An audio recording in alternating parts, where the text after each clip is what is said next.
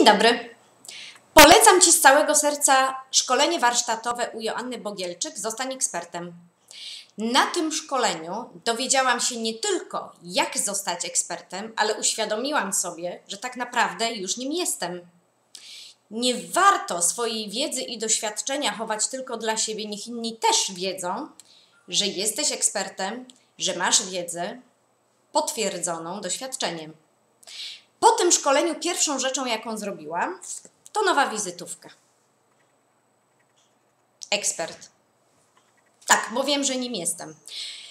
Zmotywowałam się na tyle, że jestem w trakcie kończenia swojej książki, oczywiście z mojej dziedziny wiedzy, która utwierdza innych ludzi w tym, że tym ekspertem naprawdę jestem. Jest jeszcze jedna rzecz nie do przecenienia biorąc udział w tych warsztatach, masz kontakty. Tego nie da ci żadne szkolenie online. Ludzi, których tam spotykasz na miejscu, jest, są w stanie ci w ten sposób pomóc, że nigdy nie wiesz, co się wydarzy za chwilę.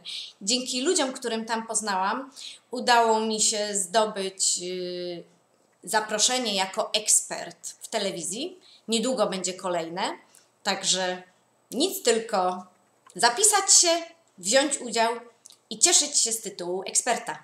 Zapraszam.